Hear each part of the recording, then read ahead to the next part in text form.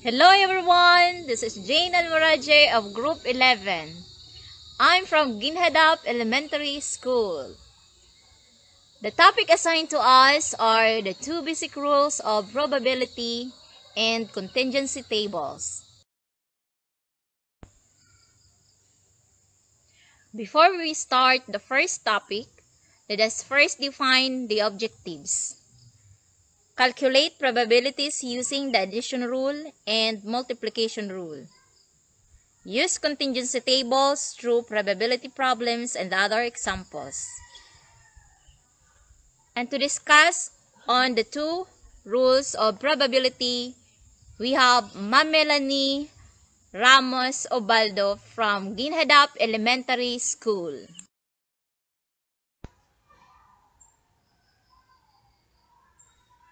Let us first define the word probability. The word probability is the measure of the likelihood that an event will occur in a random experiment. Probability is defined as a number between 0 and 1, representing the likelihood of an event happening.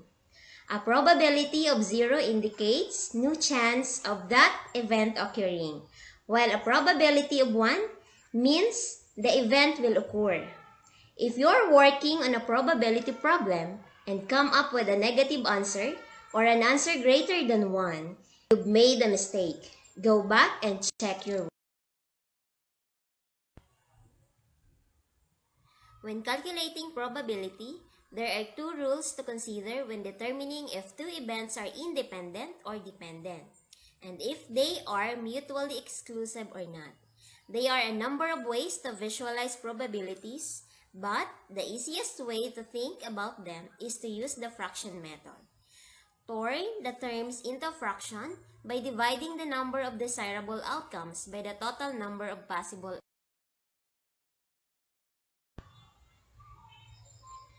This will always give you a number between 0 and 1.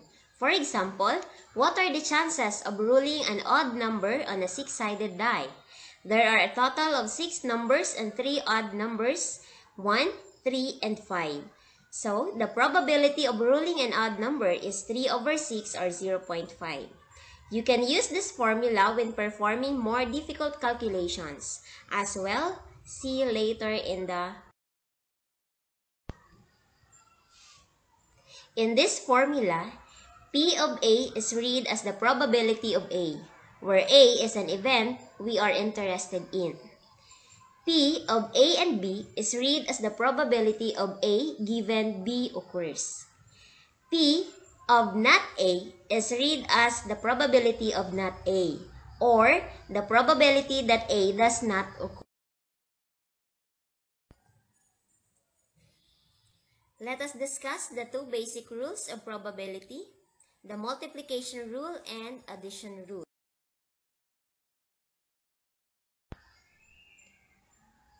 First is the multiplication rule, where P of A and B is equal to P of A times P of B or A, or P of B times P of A or B. If A and B are independent events, we can reduce the formula to P of A and B is equal to P of A times P of B. The term independent refers to any event whose outcome is not affected by the outcome of another event.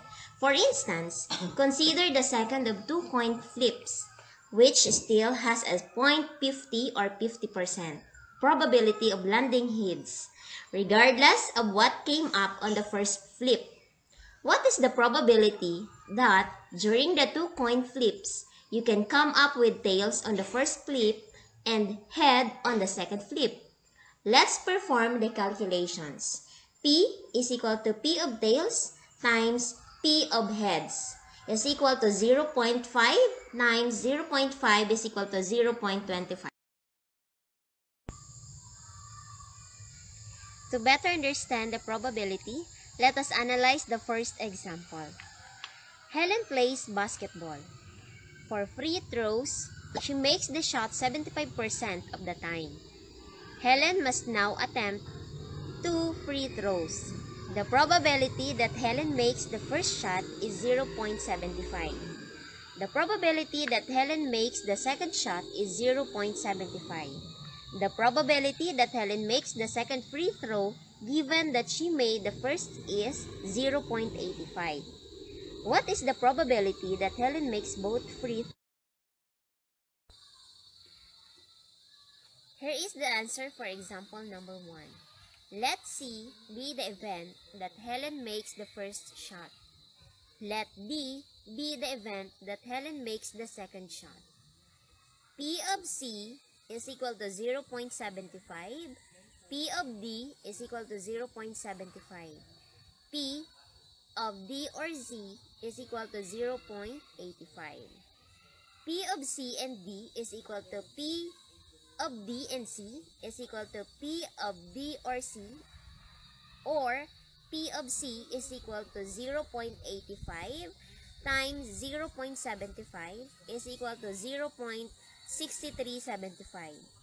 Helen makes the first and second free throws with probability of 0.6375.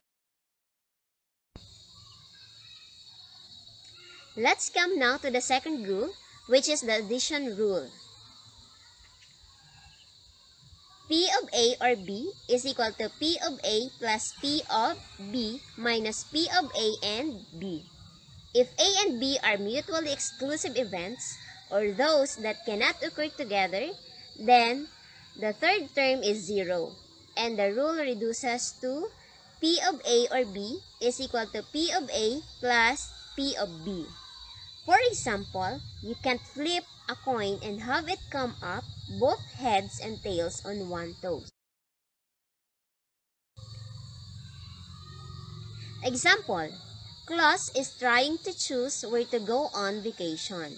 His two choices are A.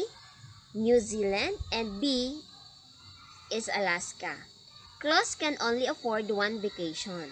The probability that he chooses A is P of A is equal to 0.6 and the probability that he chooses B is P of B is equal to 0.35. P of A and B is equal to 0 because Klaus can only afford to take one vacation. Therefore, the probability that he chooses either New Zealand or Alaska is P of A or B is equal to P of A plus P of B is equal to 0.6 plus 0.35 is equal to 0.95. Note that the probability that he does not choose to go anywhere on vacation must be 0.05. The next topic that we're going to discuss is the contingency tables. What is a contingency table? In statistics, a contingency table, also known as a cross tabulation or crosstab, is a type of table in a matrix format that displays the multivariate frequency distribution of the variables. They are heavily used in survey research, business intelligence, engineering, and scientific research. Contingency tables are tools used by statisticians when they need to make sense of data that has more than one variable. The term contingency table was first used in 1904 by Carl Pearson, an English mathematician who is credited with launching the study of mathematical statistics. One of the difficulties in attempting to decipher data that has more than one variable is finding the structure of the data. Using a contingency table allows the statistician to better understand the data using probability and relative frequencies.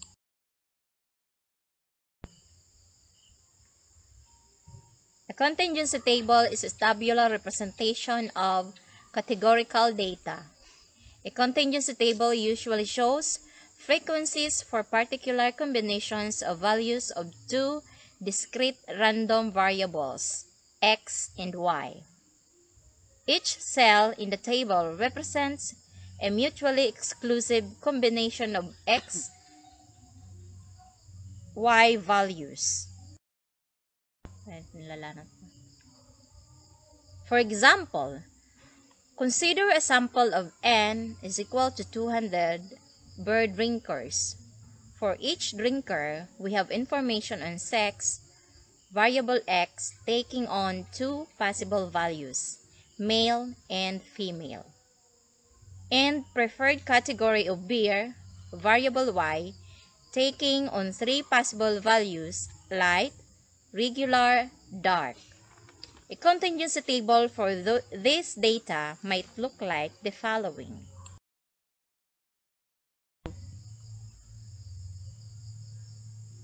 The table shows the x and y. Wherein on the x we have male and female. And on the y we have the categories light regular dark and the total. For male we have 20 for the light 40 regular 50 for dark a total of 110 for the female, we have 50 for the light, 20 regular, 20 dark, a total of 90. The sum total of light for male and female is 70. For the regular, 40 and 20 is 60. Dark, 50 and 20, 70. With a grand total of 200. This is a two-way 2 by 3 contingency table, 2 rows and 3 columns. Sometimes, three-way and more contingency tables are used. Suppose the beer drinkers' data, besides sex and preference, are also stratified by age group. The third discrete variable z, or the age, in this case might for example, take on four values 65. In this case, we would have a three-way 2 by 3 by 4 contingency table equivalent to four two-way 2 by 3 contingency tables, one 2 by 2 table for each of the four age groups. Example number 2. Suppose there are two variables, sex, male or female, and handedness, right or left-handed. Further, suppose that 100 individuals are randomly sampled from a very large population as part of a study of sex differences in handedness. A contingency table can be created to display the numbers of individuals who are male right-handed and left-handed.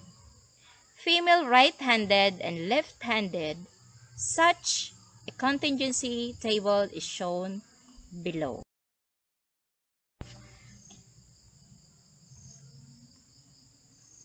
On this table, you can see the handedness by sex, male and female. And we have right-handed and left-handed. For male, we have 43 right-handed and 9 left-handed with a total of 52. For female, we have 44 right-handed and 4 left-handed with a total of 48. The total of right-handed individuals are 87 and for the left-handed is 13. The grand total of the individuals are 100.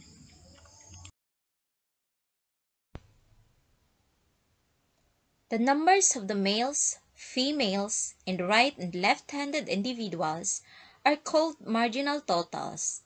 The grand total, the total number of individuals represented in the contingency table, is the number in the bottom right corner.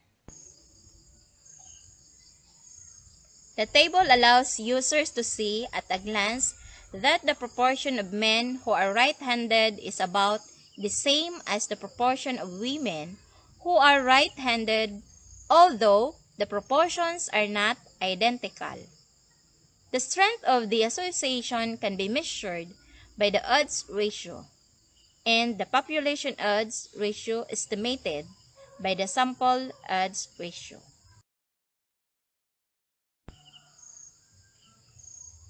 The significance of the difference between the two proportions can be assessed with a variety of statistical tests including Pearson's chi-squared test and the G-test, Fisher's exact test, Boschloo's test, and Barnard's test.